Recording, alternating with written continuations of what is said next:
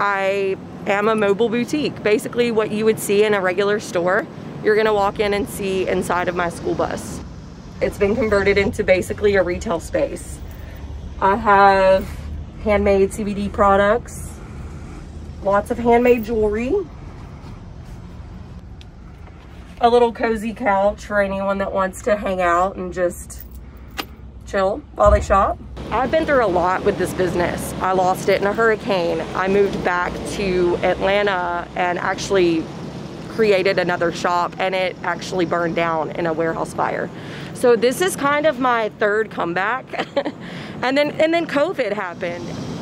So Columbus is actually my hometown and I was born and raised here. I've done a lot of things and to be able to come back to Columbus and feel like I can contribute in some way with all of the things that I've done in life and for Columbus to actually like notice it and accept it, it's really special.